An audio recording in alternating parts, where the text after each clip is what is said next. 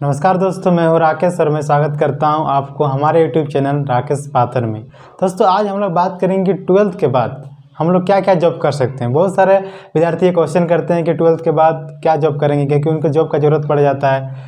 उनका घर का कंडीशन उतना अच्छा नहीं है, इसे जल्दी उनको जॉब चाहिए। तो क्या क्या हमको चांसेस मिलेंगे ट्वेल्थ के बाद अगर हम ट्वेल्थ किए हैं तो हमें क्या क्या नौकरी मिल सकती है? इस पर हम बात करने वाले हैं। दोस्तों, ट्वेल्थ के बाद जो सरकारी जॉब अगर हम बात करें तो सरकारी जॉब जो चार हम लोग के विभाग में मिलता है। जैसे कि एक एसएससी रेलवे एनडीए और स्टेट लेवल एसएससी पहले समझते हैं कि एसएससी एसएससी यानी स्टाफ सिलेक्शन कमीशन इसका फुल फॉर्म होता है स्टाफ सिलेक्शन कमीशन कमीशन यानी कि ये स्टाफ सेलेक्ट करता है। किसी भी सरकारी जो कार्यालय होता है सब में काम मिलेगा। इसमें से जो पहला हम लोग को वैकेंसी मिलता है वो सी एच एस एल का।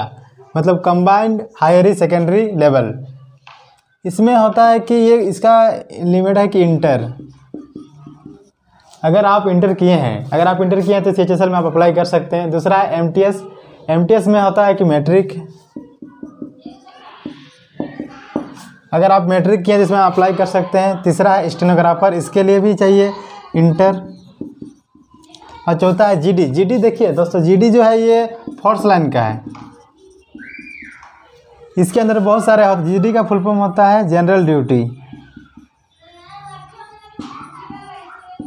जनरल ड्यूटी इसमें बहुत सारे फोर्स होता है, जैसे कि आपका जितना भी होता है बीएसएफ बोलिए CISF CRPF NIA national investigation agency BSF यानी बॉर्डर सिक्योरिटी फोर्स सीआईएसएफ यानी जितने भी आते हैं सीआरपीएफ होता है सेंट्रल रिज़र्व पुलिस फोर्स ये सब का जो पुलिस लाइन का जितना भी है, ये जीडी कनेक्ट कराता है। मतलब एसएससी जीडी से आप इसका अप्लाई कर सकते हैं। इसमें माँगता है मैट्रिक इसका होता है मैट्रिक मैट्रिक अगर आप किए तो इसमें अप्लाई कर सकते हैं। तो सर, दूसरा हम लोग का ट्वेल्थ के बाद जॉब का ऑप्शन मिलता है वो रेलवे रेलवे खुद एक बहुत बड़ा जॉब देता है हमारे देश के इकोनॉमी में भी और हमारे बहुत सारे लोगों को जॉब दिया है ये। इसमें आता है कि ग्रुप डी ग्रुप डी के लिए आपको मैट्रिक अगर आप किए हैं तो आप अप्लाई कर सकते हैं मतलब इंटर ऑलरेडी कर लेगा। तीसरा है टेक्नीशियन टेक्नीशियन में इसका है एन एन का विभाग है ये non technical popular category N T P C में टेक्नीशियन आता है, इसके लिए ज़रूरी है आई एस सी आपको आई एस सी जो किया वही इसमें अप्लाई कर सकता है, दूसरा कोई अप्लाई नहीं कर सकता हैं। मतलब आप आप कॉमर्स किए हैं आई कॉम किए हैं या आप आई ए किए हैं तो इसमें अप्लाई नहीं कर सकते हैं। उसमें आप इसमें अप्लाई कर सकते हैं। अगर आप आई एस सी किए हैं, तभी इसमें अप्लाई करें क्योंकि आई एस सी माँगता है।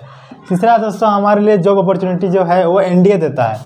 National defence national defence academy national defence इसमें बहुत सारा जॉब हमें मिलता है, जैसे एयरफोर्स यानी वायुसेना आर्मी यानी थल सेना, और नेवी यानी जल सेना। इसमें आप अप्लाई कर सकते दोस्तों, इसमें देखना है कि जो एयरफोर्स है ना, इसके लिए आपको पीसीएम होना चाहिए, यानी आई एस सी पी यानी physics chemistry math physics chemistry math है, तभी आप इसमें अप्लाई कर सकते हैं। और जो आर्मी है, इसमें आप किसी भी इंटर लेवल से कर सकते हैं, बस इसमें इंटर होना चाहिए। आप इंटर किए हैं तो इसमें अप्लाई आर्मी में भी कर सकते हैं नेवी में भी कर सकते हैं, लेकिन आपको एयरफोर्स में जाना है तो आपको आईएससी करना होगा। आज जो आईएससी स्टूडेंट है, उसी अप्लाई कर सकते हैं। दोस्तों, चौथा है हमारे लिए स्टेट लेवल एसएससी मतलब कि हर राज्य हर राज्य अपना अपना एसएससी निकालता है। जैसे कि स्टाफ सिलेक्शन कमीशन जो है हर राज्य में भी होता है। जैसे कि ये तो होता है नेशनल लेवल पे, देश के, और ये होता है राज्य लेवल पे स्टेट लेवल पे। तो इसमें होता है, जैसे कि हम लोग का झारखंड में क्या है? J S S C Bihar में है बी एस एस सी ये सब एग्ज़ाम लेते हैं। इसमें आता है, पंचायत सचिव अगर निकलता है, वैकेंसी आप इसमें अप्लाई कर सकते हैं। L D C lower division clerk.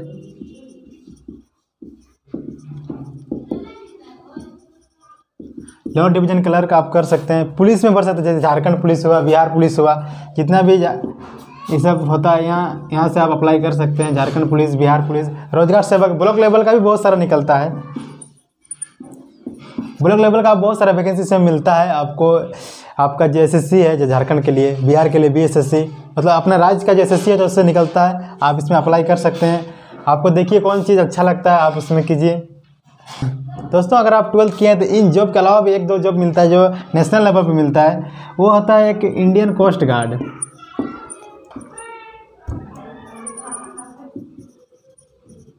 और एक होता है फॉरेस्ट गार्ड दोस्तों, ये भी आपको नेशनल लेवल पे मिलता है, ये नेशनल लेवल से इसका वैकेंसी आता है, इसमें भी आप अप्लाई कर सकते हैं अगर आप ट्वेल्थ किए हैं तो। दोस्तों, आपको आज का ये वीडियो कैसा लगा कमेंट में ज़रूर बताइएगा। अगर वीडियो अच्छा लगे तो वीडियो को लाइक कीजिएगा, चैनल को सब्सक्राइब कीजिएगा और बेल आइकन को प्रेस कीजिएगा ताकि आपको नए वीडियो का नोटिफिकेशन तुरंत मिले। दोस्तों, आप हमारे साथ बने रहिए। हम लोग ऐसे ही नए नए अपडेट आपको देते रहेंगे। आपके करियर के रिलेटेड आपको क्या करना आगे, कैसे करना है, ये सब के बारे में बताते रहेंगे। इसलिए हमारे चैनल को सब्सक्राइब ज़रूर कीजिएगा। वीडियो देखने के लिए धन्यवाद।